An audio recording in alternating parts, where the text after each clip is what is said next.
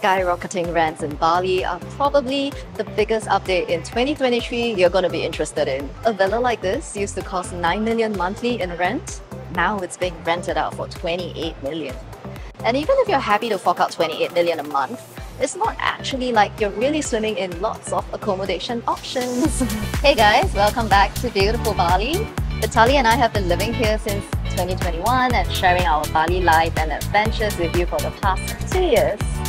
In the last 12 months, the face of Bali has changed quite dramatically in some ways. So today we want to share with you what's really happening on the ground here with stuff like inflated prices, visas, etc.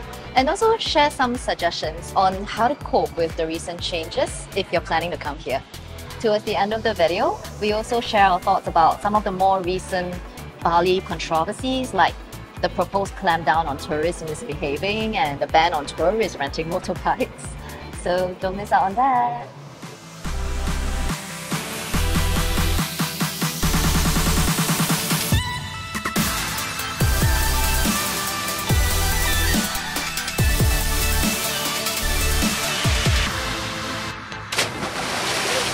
First up, yeah, rents for local accommodation has gone up massively.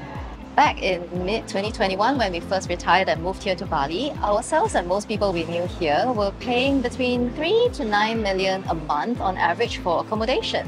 9 million gets you the pretty standard, pretty nice two bedroom Bali villa with a pool, and 3 million being more of the studio apartment kind of deal, or perhaps a simple but older house of more traditional design. So one of our friends who have been living in a two-bedroom villa with pool near the Uluwatu area, he shared with us recently that rent during pandemic for him was a steady 9 million per month. Then sometime in mid-2022, it jumped to 17 million. And then in late 22, it went up to 23 million a month and now it's being upped to 28 million and they've decided to move out and search for alternatives but we hear it's a hard search. It's apparently even more crazy slash expensive if you're in the Canggu Seminyak end of things. If you need to find accommodation, the structure of things haven't changed basically. Your first starting point should always be online. You can try Airbnb, all the Facebook groups for Bali housing and accommodation. I'll link these down below.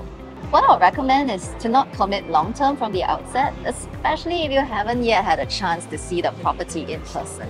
Because the online photos don't always reflect current reality or the whole story, you know, like what's around the place. So once you're on the ground, you can always suss out what's available in the neighborhood you like by just going around. There are always signs outside these properties here if they're available for rent or sale. There's not really a way to get around the increased prices, but some suggestions on how to cope may be to consider house sharing with friends or to downsize expectations and costs. Like maybe you don't really need that private pool or that extra bedroom. Having local friends and connections or who may know nice deals in some quieter areas always helps. There's also always hope here amongst the Bugis that perhaps once the worldwide post-pandemic enthusiasm for travel tempers a little, perhaps after a year or two, price pressures may ease. So if you're signing a lease at the moment, maybe you don't want to commit for too many years ahead, unless you're getting a really good deal. We made this Bali update video because so many of you have been asking us about recent developments and prices here in Bali in 2023. So we hope this gives you a clearer idea of what to expect here in Bali now. Don't forget to smack that like button and subscribe for more. Another thing that's really gone up here noticeably in Bali are car rental prices. If you're not a fan of motorbike travel or if you number more than a couple, then renting a car with or without a driver is the most sensible transport mode here in Bali, right? Distances are vast, the weather is hot. There isn't really like feasible public transport options like buses or trains. Back in June 2022, we rented a tiny Toyota Agya without a driver for 5 million. In December, when we did it again, it became 7.5 million and it wasn't as if if you're willing to meet the price you could have a car. It was actually pretty mad scramble to find an available car because it was december it was christmas peak tourist season. We spoke to like 10 over rental agencies and a lot of them were just saying mm, sorry no availability. We think that prices are going to keep on rising and if you anticipate that you're going to need a car and or a driver best to book ahead to secure one.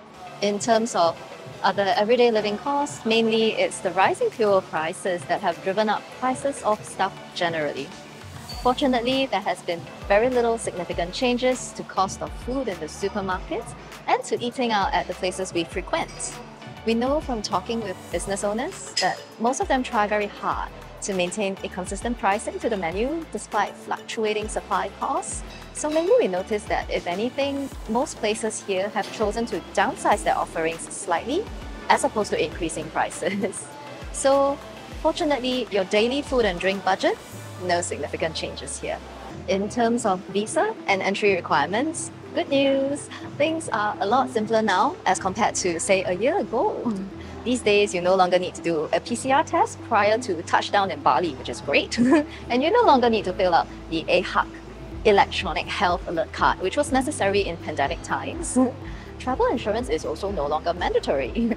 Although, of course, sensibly speaking, you should always have some insurance cover when you travel, right? Life now in Bali is also thankfully mask free these days. But officially, for all travelers aged 18 and over, regardless of nationality, full vaccinations are still required. And officially too, you still need to download and register on the Indonesian Peduli Lindungi app. That's basically for contact tracing purposes. So for the overall big idea, if you're from any of these nine countries, you qualify for a 30-day visa exemption. But this can't be extended. So the maximum stay is 30 days. As of January 2023, Visitors from the following 86 countries qualify for a visa on arrival, which lasts 30 days and costs 35 US dollars or 500,000 IDR. What's nice is that this visa on arrival can be extended for another 30 days if you wish, allowing for a stay up to 60 days in Bali. Other basic requirements include having a passport with validity for a period of up to six months at least, having a confirmed return ticket or a ticket to your next destination, and you need to prove a decent bank balance. so the authorities are satisfied you have sufficient funds to meet the expenses during your stay. Around $2,000 minimum is the threshold we hear. Although again, a lot of people say they won't ask for all these on arrival at the airport recently.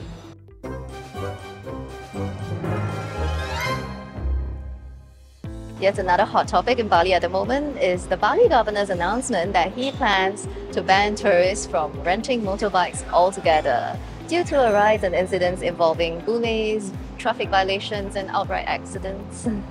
Under the proposed rule, foreigners will no longer be able to rent motorbikes. Instead, international tourists would only be allowed to hire car drivers via travel agents. this is yet another proposal that's being met with a lot of like raised eyebrows. For one, Motorbike rentals are a massive local business here in Bali. It's a source of livelihood for many Balinese, so they're probably not going to be very happy about this idea. For another, traffic congestion in Bali is a serious current problem in all of Bali's hotspots, such as Seminyak, Canggu, Denpasar. The island's existing infrastructure doesn't seem like it can feasibly support the conversion of all the tourist motorbike traffic into car traffic. Plus, I'm thinking, why target the bike rental businesses? Seems to me like the solution should be to ensure only properly licensed tourists can rent bikes and drive them around, which really means stricter regulations and better enforcement on Bali roads.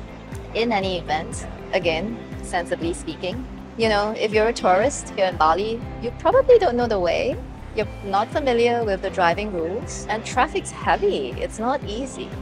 So, I mean, I don't care how cheap or convenient it is if you aren't familiar with riding a bike and you don't have the license to.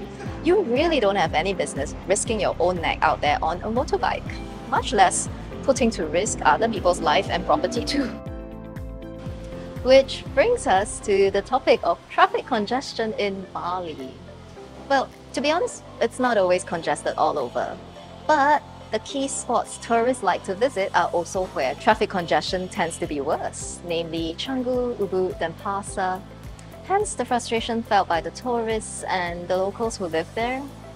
The Canggu back in 2014-15 in my memory was a really hip and chill coastal village. But after the massive development of the last five to seven years, Canggu is now one of the busiest areas in Bali and is usually caught in a complete traffic dreadlock half the time. As a visiting tourist, you probably do still want to catch the key tourist sites Bali is famed for, so getting caught in the congestion seems pretty inevitable. But little things can help a lot, I think. Like one, starting early in the day isn't only helpful to beat some traffic, but also works well with Bali's natural weather because it's so much more pleasant to do activities here in the early morning and late evenings where it's much cooler, and to plan to take rest indoors in the afternoon when Bali is at the hottest. Planning your itinerary for the day, bearing in mind the possible traffic travel times can help. We always check on Google Maps one day ahead for the expected travel times in between stops and do try to get an experienced driver who knows his way around and possible shortcuts, if you can. If I were you guys, I also wouldn't spend too much time on the overdone, overkill tourist attractions in Canggu and Ubud, really. Bali has so much more to offer beyond those spots. And you're really missing a lot of the island's organic charms when you miss out on spots like Kintamani, Sidemen, Amed, Bedugul, etc. All places you've probably never heard about, but where actually traffic is not congested usually, and you actually get out of this foreigner village bubble that is Canggu and Seminyak, and you see more of real Bali and the local culture. Back to Canggu, the traffic isn't the only thing that's congested. Canggu is now a digital nomad hub saturated with social media influencers, crypto guys, and tech nomads. It's really busy over there and densely populated with this super active, super social vibe. To be fair, from one perspective, it is an amazing entire hipster universe with cool shops, nice cafes, co-working spaces, resorts and hotels and all that jazz. It can be fun for a short visit, assuming you don't actually spend three hours in a traffic jam to get there. But on the other hand, Canggu does represent one of the most rapidly changing phases of Bali. With the influx of foreigners, there's construction going on everywhere. There's very little of the wonderful natural green features of Bali, like the paddy fields that used to be there. There's very little of that left.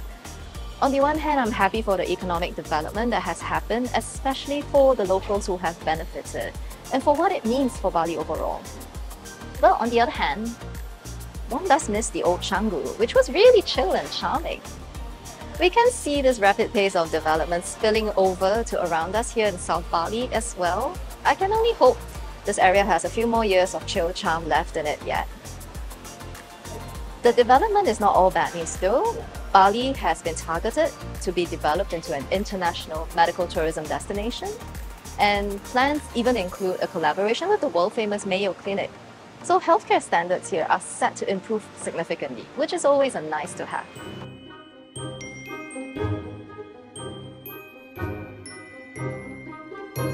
There's been a lot of media scrutiny on bad behavior from tourists in Bali recently. Viral social media posts showing foreigners here driving bikes without helmets, causing accidents, running around without shirts on, putting their feet up on tables, screaming at the police. You my problem! Clearly, the incidents don't represent the majority of foreigners here. Yet, at the same time, the highlighted incidents are such extremely disturbing displays of bad behavior. I really empathize with the local people who feel disrespected and uncomfortable.